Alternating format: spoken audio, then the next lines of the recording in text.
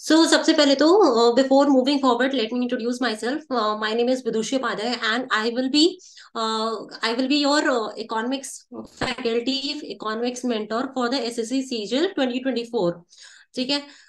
S S C सीजल तो सबको पता ही होगा ये जो एग्ज़ाम है इसके मेनली इसके पैटर्न क्या है? इसका मेरी फोर टीयर्स होते हैं जिसमें कि इकोनॉमिक्स वाला जो पार्ट है, उसमें टीयर वन और टीयर टू में इकोनॉमिक्स वाला पार्ट पार्ट जो है इंक्लूडेड होता है।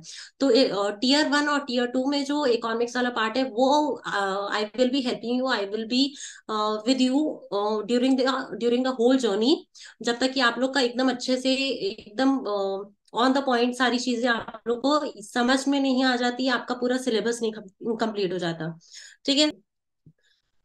सबसे पहले तो टीयर वन का सिलेबस देख लेते हैं उसके बाद हम लोग उसकी छोटी सी स्ट्रैटेजी डिस्कस करेंगे देन टीयर टू का सिलेबस देख करके उसकी स्ट्रैटेजी डिस्कस करेंगे कि दोनों की इकोनॉमिक्स की स्ट्रैटेजी में क्या डिफरेंस है कैसे हमें दोनों को अप्रोच करना है। सो so, हमारा जो टीयर वन का सिलेबस है उसमें ऊपर ऊपर थोड़ा मोटा मोटा सा देख ले तो माइक्रो इकोनॉमिक्स माइक्रो इकोनॉमिक्स और कुछ बेसिक जो थ्योरीज हैं वो सब आती हैं और कुछ इंपॉर्टेंट जो मेजर इंपॉर्टेंट टॉपिक्स हैं कि जिनमें ज़्यादा चांसेस होते हैं क्वेश्चन बनने के, वो आ जाता है मनी एंड बैंकिंग के कैटेगरी से। फाइनेंशियल इनकम से आ जाता है balance of payment balance of trade में हमें सिर्फ़ ये तो एक कैटेगरीज दी हुई है। इसके अंदर में जितने भी टॉपिक्स आ जाते हैं वो सब कुछ हम लोग हमारे जो मैराथन सेशंस चलेंगे उसमें कवर करेंगे। ठीक है? सबसे पहले तो जो बे, बेसिक इकोनॉमिक कॉन्सेप्ट जो है कि जीडीपी क्या होता है जीएनपी क्या होता है फिर एम आर ए आर ये सारे कर्व्स कौन से होते हैं? ये सारी चीज़ें हम लोग स्टार्टिंग में दो तीन क्लासेस में कवर एक, दो क्लासेस में कवर करेंगे। बेसिक इकोनॉमिक कॉन्सेप्ट उन लोग के लिए जिनको जो लोग नए हैं इकोनॉमिक्स सब्जेक्ट के लिए, जिनका बैकग्राउंड नहीं रहा है इकोनॉमिक्स इलेवन ट्वेल्थ में इकोनॉमिक्स नहीं पढ़ी है।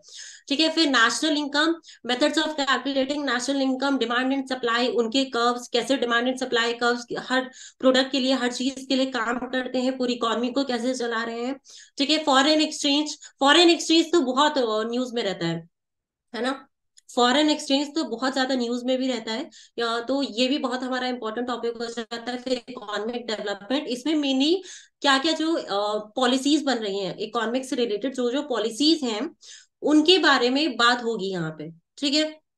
उनके बारे में हम लोग इसको बहुत ज़्यादा स्टैटिक लेकर के नहीं चलेंगे, इसमें मेनली करंट अफेयर्स के टॉपिक्स आ जाएँगे, उसको हम लोग डिस्कस करेंगे। फिर आरबीआई और जो बाकी बैंक्स हैं, ठीक है? आरबीआई हम लोग पढ़ेंगे, फिर कुछ इंटरनेशनल इंस्टीट्यूशंस वगैरह है, जैसे नाफ्टा हो गया एडीबी वगैरह हो गया फिर वर्ल्ड बैंक वगैरह के बारे में जो स्टैटिक पार्ट है उनका वो कवर करके अगर हम लोग एक जगह पढ़ के रख लेंगे, उनके नोट्स बना के रख लेंगे तो हमारे लिए within five to ten minutes हम उन टॉपिक से रिलेटेड जितने भी करंट अफेयर्स हैं, उनके इन द फर्दर क्लासेस उसको खत्म कर सकते हैं पाँच से दस मिनट में हर एक टॉपिक का करंट अफेयर्स ठीक है? फिर नवरत्न, महानवरत्न और मिनी नवरत्न कंपनीज़ क्या क्या होती है, इसको डिस्कस करेंगे। मॉनिटरी फ़िज़िकल पॉलिसी अब देखिए मॉनिटरी पॉलिसी फ़िज़िकल पॉलिसी इसको हम लोग अलग अलग नहीं पढ़ेंगे, इसको हम लोग कंपेयर करते हुए पढ़ेंगे कि दोनों में डिफरेंस क्या होता है? ठीक है? अलग अलग इन दोनों पे लेक्चर रखेंगे तो उसमें फिर डिफरेंस नहीं पता चल पाता कि मैम मॉनिटरी पॉलिसी और फ़िज़िकल पॉलिसी में डिफरेंस क्या होता है? फिर balance of payment balance of trade इन दोनों को साथ में लेकर के चलेंगे, दोनों को कंपेयर करते हुए पढ़ेंगे, उससे हमें डिफरेंस पता चलेगा। फिर नेशनल और इंटरनेशनल फाइनेंशियल इंस्टीट्यूशंस को जो, हो गए उनके बारे में पढ़ेंगे। टैक्स स्ट्रक्चर जिसमें जीएसटी इनकम टैक्स आ जाता है five year plan NITI Aayog budget अब बजट यहाँ पे दिया तो है हिस्ट्री लेकिन आप उठा करके देख लो प्रीवियस ईयर पेपर्स भी हम लोग अपने क्लास में जब भी कोई टॉपिक पढ़ेंगे, उससे रिलेटेड अगर क्वेश्चंस आए हैं तो पी वाई क्यू भी उसके देखेंगे प्रीवियस ईयर क्वेश्चंस बजट से सिर्फ़ और सिर्फ़ जो करंट बजट है उससे लेटेस्ट जो उसमें डेटा है मेनली वो लेटेस्ट डेटा आता है। हिस्ट्री उसमें जल्दी पूछी जाती ही नहीं है, ठीक है? तो हमें मेनली जो लेटेस्ट हमारा बजट होगा, उसको हम लोग डिस्कस करेंगे। हिस्ट्री के बारे में थोड़ा बहुत एक पेज के उसके नोट्स बना लेंगे, ठीक है? अब देखो स्टडी मटेरियल और रिसोर्सेज क्या क्या होंगे इकोनॉमिक्स के प्रिपरेशन के लिए फॉर द मतलब for both of tier one tier two दोनों के लिए यहाँ पे रिसोर्सेज और मटेरियल्स दिए गए हैं। देखो अब इसमें आपके पास तो ऑप्शन हैं। यहाँ पे मैंने ऑप्शन दे रखे हैं कि या तो इकोनॉमिक्स की जो टेक्स्ट बुक्स है एनसीआरटी ठीक है? क्लास इलेवन ट्वेल्थ की जो एनसीआरटी बुक्स हैं, उसको पढ़ लो। रमेश सिंह की एक बुक बुक आती है, वो पढ़ लो। और बहुत इतनी मोटी बुक आती है भाई दत्तन सुंदरम बकरा की बुक आती है। लेकिन अगर इन सबको हटाना है, ठीक है? ये जो दो महीना लगेगा ना, इन पर्टिकुलर कोई भी एक बुक उठा लो उसको कवर करने में। इसको हटाना है इसको नहीं पढ़ना तो फिर सीधे सीधे से हमारा बैच ज्वाइन करो और उसमें आप लोग को लेक्चर्स मिल जाएँगे जो कि एनसीआरटी ठीक है? कोई भी टॉपिक होगा, मान लीजिए आरबीआई हम लोग पढ़ रहे हैं और उसी पे कुछ न्यूज़ में भी चल रहा है तो आपको उसका एनसीआरटी में जो उसके नोट्स दिए हुए हैं वो भी इंक्लूड किया जाएगा करंट अफेयर्स भी इंक्लूड करके दिए जाएँगे। सारे आ, आ, पूरे एग्रीगेट नोट्स आपको एक जगह इकट्ठा करके आपको हमारे लेक्चर्स में मिल जाएँगे। ठीक है? साथ ही साथ उन लेक्चर्स में उसी टॉपिक से रिलेटेड आपको क्विजेस भी एमसीक्यूज भी दिए जाएँगे। कुछ आंसर राइटिंग प्रैक्टिसेस भी की जाएगी जिससे कि हमारी कॉन्सेप्चुअल क्लैरिटी जो है वो अच्छी हो जाए, है ना? कॉन्सेप्ट पे हमारी पकड़ हो जाए। जिससे कि हमें बार बार जाकर के स्टैटिक पार्ट ना पढ़ना पड़े इकोनॉमिक्स का जब हम लोग करंट अफेयर्स पढ़ रहे हो।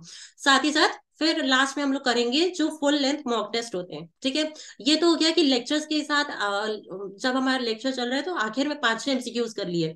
लेकिन हर कुछ दिन पे हम लोग करेंगे मॉक टेस्ट ठीक है, हर कुछ दिन पे, हर वीक हमारे मॉक टेस्ट होंगे जो कि फुल लेंथ मॉक टेस्ट होंगे, जिसमें हम लोग सिर्फ़ और सिर्फ़ क्वेश्चन से सॉल्व करेंगे, ना कि उसमें कोई लेक्चर होगा हमारा। ये हो गया हमारा टीयर वन का इतना पार्ट था, अब आते हैं हमारे टीयर टू पे। टीयर टू का जो सिलेबस है, अब इसमें जब आपका टीयर वन हो गया, अब आपने टीयर वन क्लियर भी कर लिया है, अब आपको, अब यहाँ पे तो समझ में आ जाता है कि स्टूडेंट्स को इकोनॉमिक्स का जो पकड़ थी, यहाँ पे थोड़ी बेटर हो गई है। जो लोग नॉन इकोनॉमिक्स बैकग्राउंड के हैं, उनकी भी। अब यहाँ पे होता क्या है? टीयर टू में इकोनॉमिक्स में थोड़ा और डीप में जाना पड़ता है। ठीक है? थोड़ा और डीप में जाना पड़ता है। जहाँ पे आप टीयर वन पे जो, मान लीजिए फ़िज़िकल पॉलिसी है, जिसको आप ऊपर ऊपर पढ़ के आधे पेज के नोट्स बना करके कवर कर सकते हो उतने से आपका काम चल जाएगा, उतने से आप टीयर वन क्लियर भी कर सकते हो। लेकिन उसी को थोड़ा और समझना पड़ेगा, थोड़ा उसी पे और काम करना पड़ेगा, थोड़ा केस स्टडीज़ इसमें डालने पड़ेंगे केस स्टडीज़ मतलब एग्जाम्पल्स है ना? और सबसे अच्छा एग्ज़ाम्पल मतलब सबसे अच्छी चीज़ क्या होती है एग्ज़ाम में? मार्क्स गेन करने की, अगर कॉन्सेप्ट भी क्लियर करना है, या फिर कभी किसी एग्ज़ाम में आप आंसर राइटिंग भी करना हो, ठीक है? डिस्क्रिप्टिव पेपर भी होता है जिन जिन पेपर्स में, जो रियल लाइफ एग्जाम्पल्स है। मान लीजिए, कोई भी टॉपिक चल रहा है आपका, और वही आपने उसी टॉपिक से रिलेटेड आप न्यूज़पेपर पढ़ रहे हो तो उससे रिलेटेड कुछ आपको दिख गया कि हाँ ये एक सिविल सर्वेंट है, जिसने ये बहुत अच्छा काम किया है या ऐसा कुछ काम किया है इकोनॉमिक से रिलेटेड कुछ किसी चीज़ पे बात हो रही है आरबीआई में कुछ ऐसा आरबीआई ने कुछ एक्शन लिया। तो ये जब रियल लाइफ एग्जाम्पल्स आप डालते हो अपने आंसर्स में तो और आंसर्स आपके एनरिचिंग होते हैं, ज़्यादा मार्क्स गेन करते हैं। ठीक है? फ़िलहाल यहाँ पे बात हो रही है कि हमें यहाँ पे क्यों एग्जाम्पल्स लेने जिससे कि हमारे कॉन्सेप्ट क्लियर हो। ठीक है? सबसे बड़ा ही रीजन यही होता है एग्जाम्पल्स का जिससे हमारे कॉन्सेप्ट क्लियर हो। ठीक है? फिर डेटा वगैरह तो इकोनॉमिक्स में बहुत आम सी बात है, वो तो पढ़ना ही पड़ेगा, वो तो रटना पड़ेगा स्टिकी नोट लगा करके दीवार पे, है ना? चलिए, इसका सिलेबस डिस्कस कर लेते हैं। देखो टीयर टू में जो थर्ड पेपर है, ठीक है? थर्ड पेपर जो है, उसमें दो पार्ट्स हैं। The first part is part A is finance and accounts ठीक है? Finance and accounts part A है थर्ड पेपर का ऑफ़ टीयर टू जो कि है एट्टी मार्क्स का। इससे हमें लेना देना नहीं है, ठीक है? The part which I will be covering ठीक है? जो पार्ट मैं कवर करूँगी, वो होगा पार्ट बी जिसमें इकोनॉमिक्स है और गवर्नेंस है। वन ट्वेंटी मार्क्स का ये पूरा पेपर है। है ना? एटी मार्क्स वाला जो है financial account that part I will not be covering यहाँ ये वाला पार्ट जो है, ये मैं आप लोग का कवर करूँगी। इसमें देखिए, क्या बात हो रही है? इकोनॉमिक्स का पूरा सिलेबस क्या है? सबसे पहला है C A G of India, Comptroller and Auditor General of India, Constitutional Provisions and Roles and Responsibilities. फिर फाइनेंस कमीशन क्या उसके रोल और फ़ंक्शंस हैं? फिर बेसिक इकोनॉमिक कॉन्सेप्ट्स ये वाला जो पूरा पार्ट है हमारा ठीक है ये वाला जो पूरा पार्ट है हमारा बेसिक इकोनॉमिक कॉन्सेप्ट्स ये हम लोग टीआर वन में ही कवर कर लेंगे। जो जो चीज़ें ओवरलैप हो रही हैं उसको हम लोग टीआर वन में ही कवर कर लेंगे। बाकी चीज़ें हम लोग कवर करेंगे टीआर टू में जो डिफरेंट है टीआर वन से ठीक है? फिर theory of demand and supply वहाँ पे डिमांड सप्लाई जो थी टीयर वन में, यहाँ पे क्या डिफरेंस है? टीयर वन जो हमारा एग्ज़ाम था, उसमें क्या होगा? उसमें हम लोग खाली कॉन्सेप्ट कॉन्सेप्ट समझेंगे और उस कॉन्सेप्ट से रिलेटेड कोई भी क्वेश्चन आता है तो उसको सॉल्व करने की कोशिश करनी है टीयर वन में। यहाँ पे डिमांड एंड सप्लाई से रिलेटेड क्या जो थ्योरीज हैं, जैसे मार्शलियन अप्रोच है, एक इन डिफरेंस कर्व अप्रोच है है ना? फिर साथ ही साथ थ्योरी ऑफ़ कंज्यूमर बिहेवियर भी है। इन सारे थ्योरीज को भी हमें यहाँ पे पढ़ना है टीयर टू में। ठीक है? फिर income and cross elasticity law of demand elasticity of demand price elasticity यहाँ पे होगा। यहाँ पे लिखना लिखना मैं भूल गई हूँ। फिर meaning and determinants of demand ये तो बहुत ही प्यारा टॉपिक है। इवन हम लोग भी जब पढ़ते थे इकोनॉमिक्स डिटर्मिनेंट्स ऑफ़ डिमांड बहुत ही मतलब सबका फेवरेट जो इकोनॉमिक्स पढ़ता है, उसका ये फेवरेट टॉपिक हो जाता है। सबसे सिंपल आई नो थोड़ा लंबा है बट सबसे सिंपल टॉपिक इकोनॉमिक्स का मेरे हिसाब से यही है। फिर meaning and determinants of supply यहाँ पे डिटर्मिनेंट्स ऑफ़ डिमांड है, यहाँ पे डिटर्मिनेंट्स ऑफ़ सप्लाई है। फिर law of supply the elasticity of supply theory of production cost में की फैक्टर्स ऑफ़ प्रोडक्शन क्या है, उसकी मीनिंग क्या होती है? फिर लॉज ऑफ़ प्रोडक्शन क्या है? ठीक है लॉज ऑफ़ प्रोडक्शन क्या है? फिर लॉ वेरिएबल प्रपोर्शन और लॉज ऑफ़ रिटर्न इन दोनों लॉज को हमें मेनली पढ़ना है। चलिए आगे बढ़ते हैं। फिर डिफरेंट फॉर्म्स ऑफ़ मार्केट मिनी चार फॉर्म्स ऑफ़ मार्केट आप लोग ने पढ़ी होगी अगर थोड़ी बहुत भी एट तक भी आप लोग ने इकोनॉमिक्स पढ़ी है टेंथ तक भी सॉरी उसमें कौन कौन सी मार्केट आती है? Perfect competition monopoly monopolistic competition फिर ऑलिगोपोली फिर इन, इन चारों मार्केट में क्या किस तरीके से प्राइस डिटरमाइन होता है? ठीक है इन चारों मार्केट में प्राइस डिटरमाइन कैसे किया जाता है? इन चारों का अलग अलग क्या तरीका है, उसको भी यहाँ पे हमें कवर करना है। फिर इंडिया में economic reforms liberalisation privatisation globalisation LPG ठीक है? इकोनॉमिक रिफॉर्म्स डिसइन्वेस्टमेंट ये सारी चीज़ें इसमें आ जाती हैं। फिर इंडियन इकोनॉमी वाला पार्ट देखिए, ये इंडियन इकोनॉमी वाला जो पार्ट है, देखने में यहाँ पे बड़ा लग रहा है। तो उस, नौ होंगे current affair static questions mostly Indian economy वाले पार्ट से नहीं आते हैं। तो ये एक अच्छी बात है इंडियन इकोनॉमी वाले पार्ट की। तो नेशनल इनकम ऑफ़ इंडिया इस पे मतलब एक दो पेजेस के मुश्किल से नोट्स हो जाएँगे, बाकी पूरा हम लोग कवर करेंगे करंट अफेयर से। जैसे नेशनल इनकम पे तो नोट्स हमारे हो जाएँगे, लेकिन पॉपुलेशन डेमोग्राफी जो है इंडिया की, ये सारी चीज़ें हम लोग कवर करेंगे करंट अफेयर्स में। अभी लेटेस्ट चल क्या रहा है? डेटा वगैरह पे काम करेंगे इस पूरे टॉपिक में। ठीक है? फिर मनी एंड बैंकिंग हाँ ये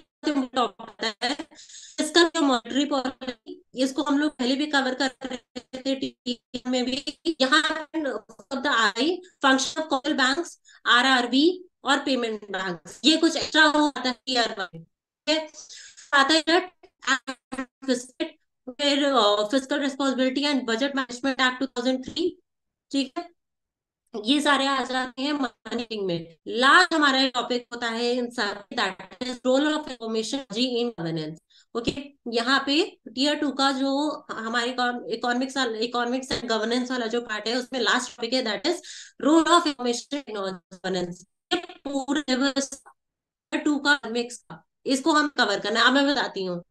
इसमें दोनों में जो बैचेस हमारे स्टार्ट हो रहे हैं, हमारा जो टीयर वन का बैच है, ठीक है?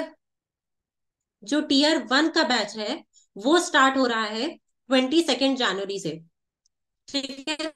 हो रहा है? मैराथन बैचेस स्टार्ट हो रहे हैं टीयर वन इकोनॉमिक्स के। टीयर टू का स्टार्ट हो रहा है, वो कब से स्टार्ट हो रहा है? That is twenty fifth May से अब ये ज्वाइन क्यों करना है? क्या मतलब क्या अलग है? क्यों हमारे बैचेस ज्वाइन करने हैं आपको? देखिए सबसे पहले तो अगर आप खुद से अभी तक सेल्फ प्रिपरेशन कर रहे हो सेल्फ स्टडी कर रहे हो तो आपको ये दिक्कत तो कभी ना कभी फेस हुई होगी कि आ, आ, कहीं किसी वेबसाइट पे जाकर के कहीं कहीं से पायरेटेड वेबसाइट पे जाकर के किसी कोचिंग मटेरियल का डाउनलोड करो या महँगी महँगी कोचिंग मटेरियल की टेस्ट सीरीज़ खरीद के लाओ है ना? फिर कोर्सेज भी उनके अलग होते हैं।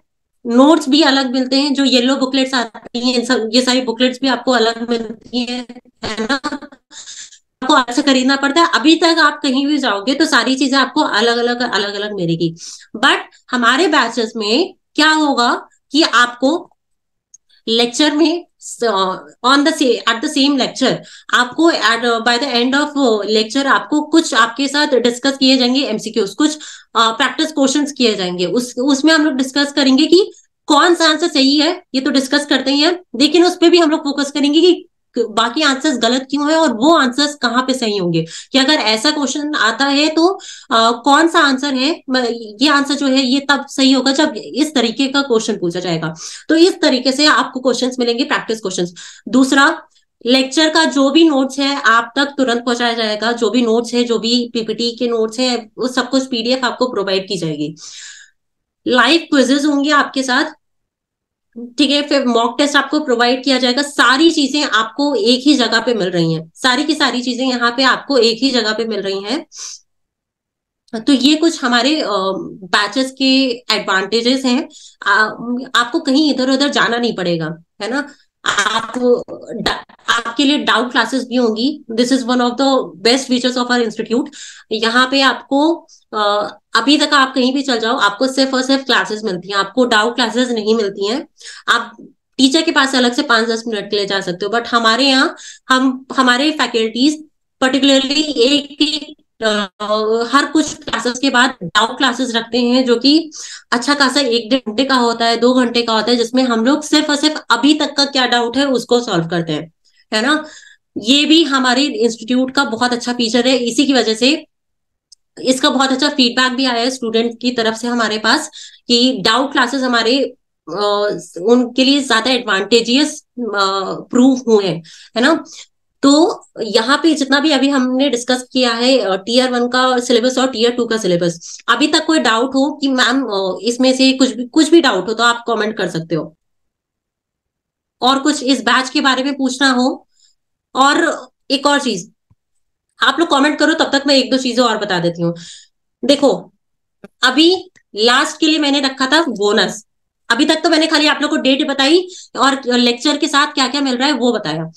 अब है बोनस कि एक्स्ट्रा क्या है इसमें? क्या मतलब एकदम बेहतरीन चीज़ क्या है?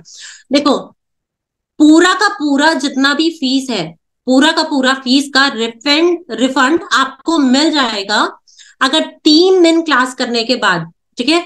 जब आपने जिस डेट को एनरोल किया है क्लास में, उससे तीन दिन क्लास करो और तब तक अगर आप सेटिस्फाइड नहीं हो हमारे उस लेक्चर से, ठीक है, या जो भी फैकल्टी आपको पढ़ा रहा है तो आपको पूरा का पूरा फ़ीस का हंड्रेड परसेंट रिफंड मिलेगा। ये बेहतरीन चीज़, ये रही पहली। अब दूसरी बेहतरीन चीज़ एकदम बेस्ट पॉइंट हमारा ये है कि अगर आपकी हंड्रेड परसेंट अटेंडेंस रहती है सारे लेक्चर्स में, सारे टेस्ट में सिर्फ़ लेक्चर्स में नहीं, सिर्फ़ टेस्ट में नहीं। इन सबको मिला करके अगर आपकी हंड्रेड परसेंट अटेंडेंस रहती है तो आपको ट्वेंटी परसेंट डिस्काउंट भी मिलेगा। ओके आपको पूरा का पूरा पैसा वापस मिलेगा अगर आप तीन दिन तक क्लास करने के बाद सेटिस्फाइड नहीं होते हो तो। और साथ ही साथ, दूसरा क्या मैंने बोला ट्वेंटी परसेंट फ़ीस का रिफंड भी होगा ट्वेंटी परसेंट डिस्काउंट मिलेगा सॉरी अगर आपकी हंड्रेड परसेंट अटेंडेंस होती है तो। ओके ये अभी का ऑफ़र है हमारे पास।